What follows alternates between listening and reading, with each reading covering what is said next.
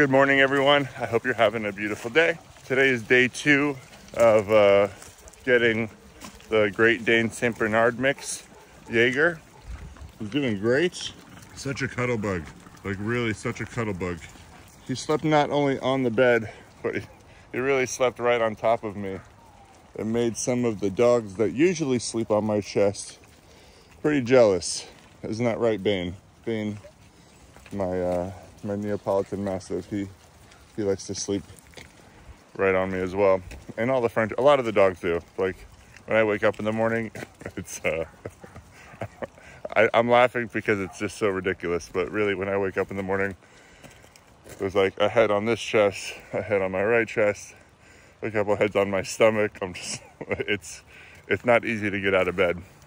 But um, anyways, enough about me. Jager is doing awesome. Really, really beautiful dog. I can definitely sense the uh, separation anxiety in him. And I must say, I've had, since, since starting an animal sanctuary, um, Roger, Roger was my first Great Dane.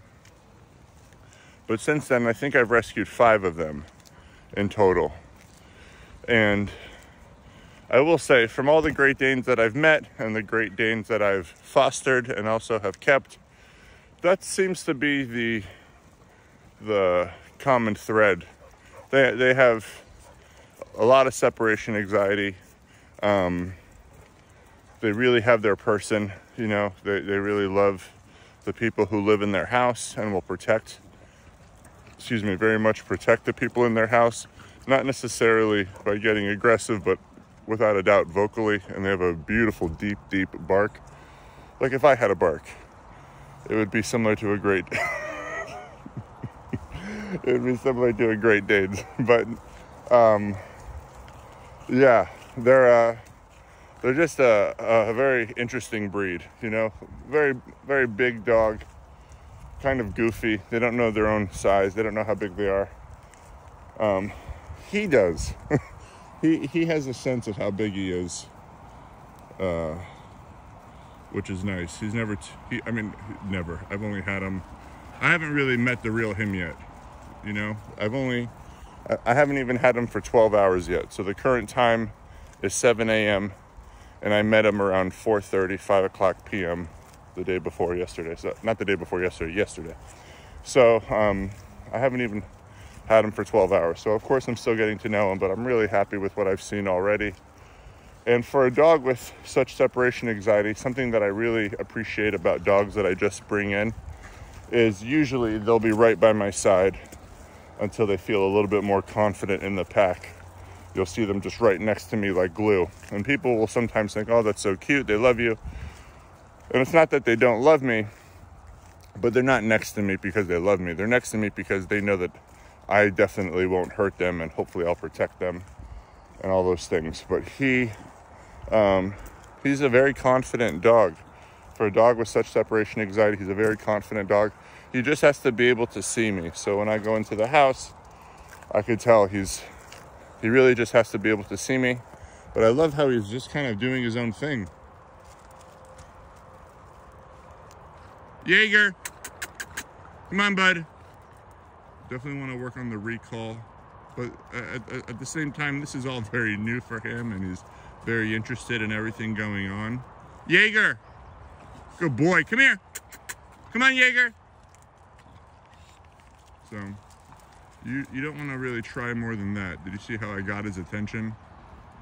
Give it one more. I'll try one more time. Jager, hey, come here.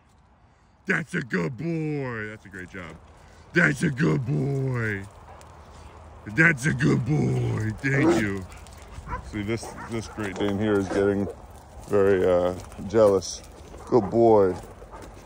And um, I'm no dog trainer. I will say that. I've said it a thousand or something, maybe a million times. I'm no dog trainer, but when it comes to recall, you don't want to uh, make your voice a waste. Don't let your voice be a waste. If you're calling a dog and they're not coming back, don't just keep trying until you think they listen to you. They, they, they've just eventually, eventually have gotten bored or will cave like, all right, I'll give you what you want. You really want to make sure um, if you're going to work on your recall.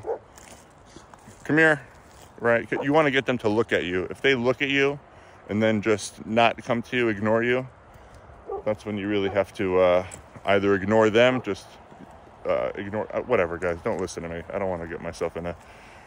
I'll finish what I'm saying though. You either walk away from it or go get the dog. All right, you either walk away or go get them. So when they look at you and then they still disregard your voice, it's no good. They do it to me all the time, by the way. It's not like all my dogs have great recall. They do it to me too.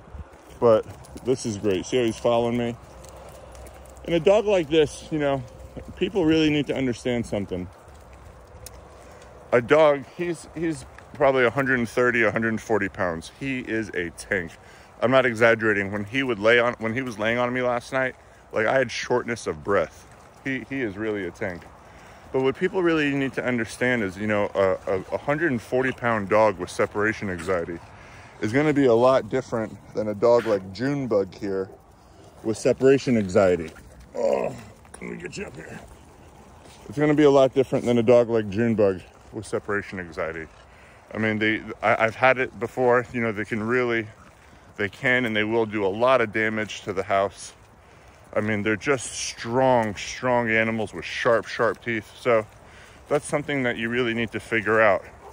Um, if you're going to bring in a type of breed with separation anxiety, you, you have to be prepared for it um, mentally and have your house, make sure your, your home is safe. There's not many counters or things that a dog his size can't get up on, can't destroy. And uh, sometimes, you know, no matter the medication, I mean, I've se- I can't I can't say this from experience, but I know like with a dog like him, using him exactly, um, from what I was told, you know, the he had the training, he had some of the best training done, he had this done, and and all the courses. Sometimes you could try everything, and unfortunately, the only option is to be with that dog at all times. Um, I've, I've never been in that situation. I've always been lucky to usually be able to um, not necessarily train the dog out of it, but a lot of the times it's just enrichment. It's the dog getting enough exercise, enough of the pack work, you know, running around like we're doing now with the pack. Training definitely helps, but enrichment, fulfillment, just like what humans need, right? Going outside, walking, exercising, mental and physical stimulation, math, science, algebra.